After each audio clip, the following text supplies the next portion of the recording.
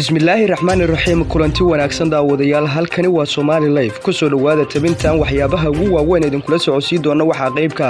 ururka ahlu sunna wal oo dagaal dhinacyo badana ku qaaday magaalada dhuusamareeb haddaba khasaare nooca ayaa ka dhashay.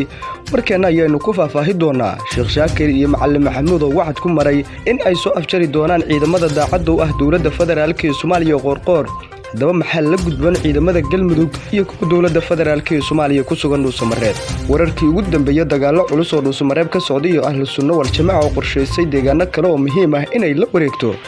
Haddaba maxaa la gudboon dowladda federaalk ee soomaaliya ciidanka galmudug ee halkaasi ku sugan? Warkan ayaanu ku faahfaahinaynaa fadlan nagala qayb qaado bahitaanka muuqaalkan adigoo baraha kale ee bulshada ku sii sheergaraynayo aalaaba halkan waxaa idinkugu soo gudbi doonaa wararkii ugu dambeeya soomaaliya caalamka. Waa hagaag haddii aynu ku bilowno magaalada dhuusamareeb ee caasimadda galmudug waxaa ka socda dagaal xooggan oo u dhexeeya ciidanka dowladda federaalk ee soomaaliya kuwa galmudug oo garab ah halka kuwa ahlu sunna wal jamaaca ka amar qaatay xalay duulaan culus xilli arooro ay ku soo qaadeen oo dhana. Ciidanka ka amar qaatay sheekh shaakir ayaa qaab luga ku soo gala xaafado ka mida magaalada dhuusamareeb oo muddo kooban.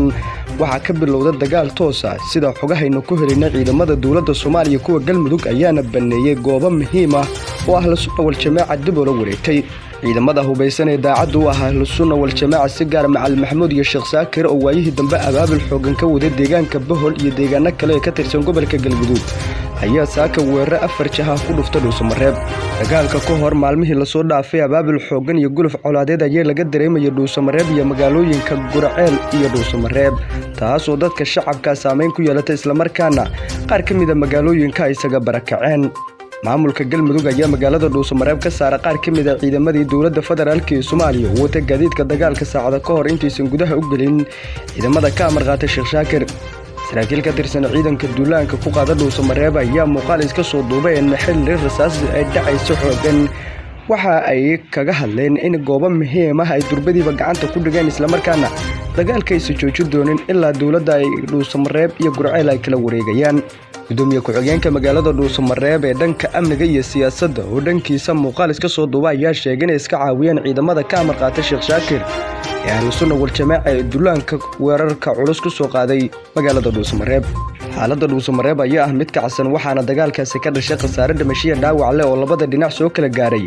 Magaalada dhuusamareeb ee caasimadda galmudug maalmo ka hor dhankeeda waxaa kulamo ku yeeshay ciidamo ka socda dowladda federaalk ee soomaaliya kuwa galmudug iyo ciidamada admis amisom kuwaas oo ka wada hadlay gulufka colaadeed ee waayihii dambeba ahlu sunna iyo dhaqdhaqaaqyada xooggan ay ka wadeen deegaano muhiima ee ka tirsan maamulka galmudug sannadkii hore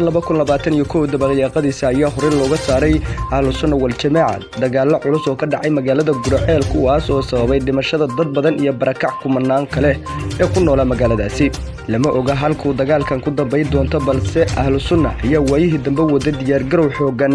waxaana xusud mudan in madaxdii ugu sarraysa dhammaan maamulka galmudug ay ku sugan yihiin magaalada muqdisho. Madaxweynaha galmudug ku-xigeenkiisa gudoomiyaha baarlamaanka iyo sidoo kale ku-xigeenadiisa iyo wasiirada dhammaan waxay ku sugan yihiin magaalada caasimadda ah ee muqdisho. Taas oo ahlu sunna wal jamaaca siinaysa fursad kale maadaama madaxdii galmudug hogaaminaysa ay ka maqan yihiin deegaanadii u talinayeen.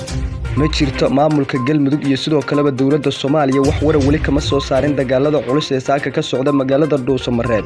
waxaana weli la maqlaya dhawaaqa rasaasta ahlu sunna wal jamaaca ayaana xaafado badan oo magaaladaasi ka tirsan in la wareegtay. Haddaba wixii warar ay ku soo korro daawadayaal halkan oo ah somaali leef ayaan idinkugu soo gudbin doonaa fadlan isha ku hay. Muuqaalkana nagala qayb qaada baahitaankiisa oo baraha kale ee bulshada ku sii sheergaray. Mahadsanadiin